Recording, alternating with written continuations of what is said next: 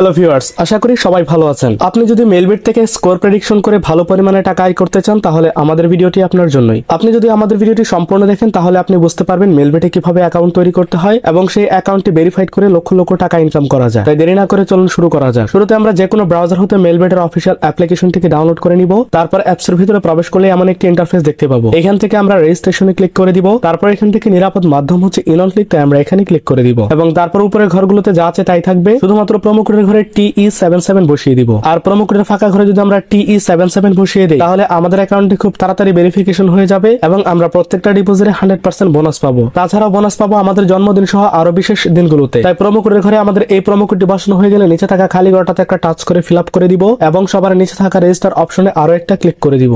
দেওয়ার পর এখানে আমরা রোবট ভেরিফিকেশনটি কমপ্লিট করে নিব। তারপর আমাদেরকে একটি পাসওয়ার্ড ও ইউজার নেম দেওয়া হবে, যেগুলো আমাদের জন্য খুবই গুরুত্বপূর্ণ। তাই এটিকে স্ক্রিনশট অথবা কোথাও নোট করে নিব, কারণ এই পাসওয়ার্ড ও ইউজার নেম দিয়ে আমরা পরবর্তীতে অ্যাকাউন্ট রিকভারি করতে পারব। তাই অবশ্যই এই পাসওয়ার্ডটি খুব ভালোভাবে সংগ্রহ করব। তাই এটিকে আমরা একটি স্ক্রিনশট দিয়ে নিলাম। স্ক্রিনশট দেওয়া হয়ে গেলে নিচে দেখতে পাবেন নেক্সট বলে একটি অপশন থাকবে, আমরা এই নেক্সটে ক্লিক করে দিব। আমাদের অ্যাকাউন্ট রেজিস্ট্রেশন করার কাজ শেষ। এবার চাইলে আমরা আমাদের অ্যাকাউন্টটিকে ভেরিফিকেশন করতে পারি। আর ভেরিফিকেশন করার জন্য কর্নারে দেখতে পাবেন মেনু বলে একটি অপশন থাকবে। আমরা এই মেনুতে ক্লিক করে দিব। মেনুতে ক্লিক করলে আমাদের সামনে আরও কিছু অপশন চলে আসবে। এখান থেকে আমরা সবার উপরে কর্নারে পার্সোনাল প্রোফাইলে ক্লিক করে দিব। আর পার্সোনাল প্রোফাইলে ক্লিক করার সাথে সাথে আমাদের সামনে বেশ কিছু অপশন চলে আসবে। এই অপশনগুলো থেকে প্রথমে আমরা আমাদের ফোন নাম্বারটিকে ভেরিফিকেশন করব। তারপর আমরা আমাদের এনআইডি কার্ড ভেরিফিকেশন করব। ফোন নাম্বার ভেরিফিকেশন করার জন্য এখানে একটু খেয়াল করলে দেখতে পাবেন ফোন নাম্বার লিংক বলে একটি অপশন থাকবে। আমরা এই লিংকে ক্লিক করে দিব। তারপর এই ফাঁকা ঘরটিতে আমরা আমাদের একটি সচল ফোন নাম্বার বসাবো। আর সেন্ড কোডে ক্লিক করলে আমাদের সেই নাম্বারে একটি ওটিপি কোড পাঠানো হবে। সেই কোডটি এখানে বসিয়ে কনফার্মে ক্লিক করলেই আমাদের ফোন নাম্বারটি ভেরিফিকেশন হয়ে যাবে। আমাদের ফোন নাম্বার ভেরিফিকেশন করার পর এবার আমরা আমাদের এনআইডি কার্ড ভেরিফিকেশন করব।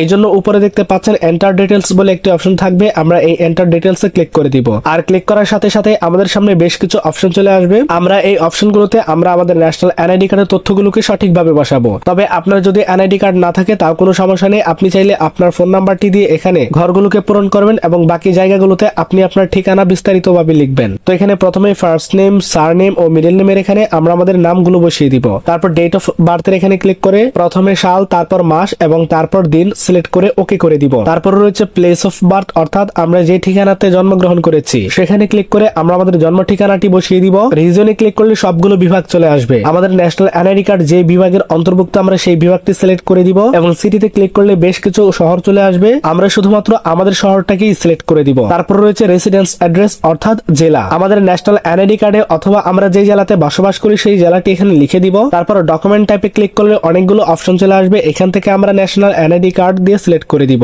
তারপর রয়েছে সিরিজ এখানে ক্লিক করে শূন্য এক বসিয়ে দিব। তারপর ডকুমেন্ট নাম্বারের এখানে ন্যাশনাল এনআইডি কার্ডে যে নম্বরটি রয়েছে, সেটি বসিয়ে দিব। অথবা আপনার যদি কোনো এনআইডি কার্ড না থাকে, আপনি চাইলে আপনার ফোন নাম্বারটিও এখানে বসাতে পারেন, কোনো ধরনের সমস্যা হবে না। তারপর ডেট অফ ইস্যুর এখানে ন্যাশনাল এনআইডি কার্ডের একটি ইস্যু ডেট থাকে, সবার পেছনে। আমরা সেই ইস্যু ডেটটি এখানে বসিয়ে দিব, ইস্যুড বাইরে এখানে বাংলাদেশ গভর্নমেন্টস লিখে দিব। আর এ সকল তথ্য সঠিকভাবে বসানো হয়ে গেলে নিচে দেখতে পাবেন, একটি টিক বাটন থাকবে, আমরা এই টিক বাটনে ক্লিক করে দিব। আর এখানে ক্লিক করার কিছুক্ষণের মধ্যে আমাদের অ্যাকাউন্ট ভেরিফিকেশন সাকসেসফুল হয়ে যাবে এবং সেটি আমাদেরকে দেখাবে। যেহেতু আমাদের অ্যাকাউন্ট ভেরিফিকেশনের কাজ শেষ, এইবার আমরা আমাদের অ্যাকাউন্টে ডিপোজিট করব। আর এই জন্যই সবার উপরে দেখতে পাবেন ডিপোজিট বলে একটি অপশন থাকবে, আমরা এই ডিপোজিটে ক্লিক করে দিব। আর ডিপোজিটে ক্লিক করার সাথে সাথে আমাদের সামনে অনেকগুলো মোবাইল ব্যাংকিং চলে আসবে। চাইলে আমরা যে কোনো মোবাইল ব্যাংকিং এর মাধ্যমেই ডিপোজিট করতে পারি। তো আমি এখানে বিকাশ থেকে ডিপোজিট করব। এই জন্য বিকাশে ক্লিক করে দিলাম। বিকাশে ক্লিক করে দিলে এমন ইন্টারফেস চলে আসবে। এখানে থাকবে একটি বিকাশ এজেন্ট ও ওয়ালেট নাম্বার আমরা যত টাকা আমাদের অ্যাকাউন্টে ডিপোজিট করতে চাই, তত টাকা এই এজেন্ট নাম্বারটিতে ক্যাশ আউট করতে হবে। তবে এই নাম্বারটি প্রতি দশ মিনিট পর পর পরিবর্তন হয়, তাই নাম্বারটি ভালোভাবে চেক করে নিব। ক্যাশ আউট করা হয়ে গেলে আমাদেরকে একটি ট্রানজেকশন আইডি দেওয়া হয়, সেটিকে কপি করব